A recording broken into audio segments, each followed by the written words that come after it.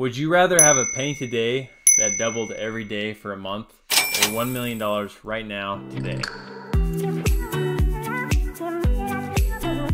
If you're like me, you probably went to high school and college, learned a lot about sedimentary rocks, photosynthesis, the quadratic equation, and you weren't taught about a credit score, how to get a job, how to interview, how to get a mortgage, how to pay tax, and I bet you weren't taught to trade stocks. Now, I wish they would teach about sales and the psychology of negotiation, but they don't. So my goal is to create short, informative videos to fill in those gaps and help you make wise financial decisions. Today, I want to talk about the power of compounding. So let's go back to that question. If you took a single penny and you doubled it every day, by day 30, you would have $5,368,709 and 12 cents.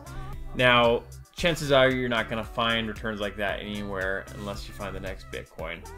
But the takeaway from all of this, start investing early and often wherever you're at in life. Really the biggest gains and returns always happen later in life and the key to wealth in my opinion is delayed gratification.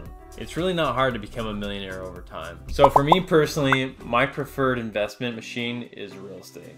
But today I'm going to talk to you guys about 401ks and Roth IRAs. You may have all, always wondered what's the difference between a 401k and a Roth IRA. A 401k is a retirement account offered by employers that gives employees a tax deferment on money that they put into an account. So part of each paycheck you receive will be put into an account that grows and accumulates interest over time. Sometimes an employer will match your contributions. At the age of 59 and a half, you can begin taking out distributions from your 401k, but those distributions will then be taxed. So going into the account, the contributions are tax-free, but coming out of the account, those distributions will be taxed. And also, if you take out money early before the age of 59 and a half, you will also be penalized with fees. Now, a Roth IRA, on the other hand, is a retirement account that you can personally set up where contributions or money going in is taxed, but when you withdraw the money, those distributions are not taxed. So when you're retiring and withdrawing money from your Roth IRA,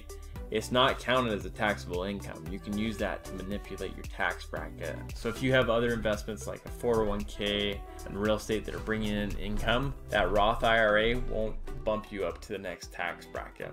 Let's go back to that 401k. If you start saving at age 25, and let's assume a 7% annual return, which is a reasonable expectation over a long time frame. If you plan to work for 30 years and contribute $1,000 a month to your 401k, without any employer matches. In 30 years, you will have $1,270,840. That will be set aside in your retirement account. Now that 1.2 million continues to earn a 7% interest every year. If you retire then, you can take out $88,958.80 yearly.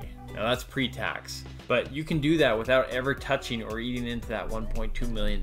That's just the interest. So the main takeaway from this whole video is to start investing now. Pay off all your debts, set goals to regularly invest small amounts of your money, and it's, it's never too late to start investing. If you found this video useful, please hit the like button and subscribe. Thanks for watching, guys.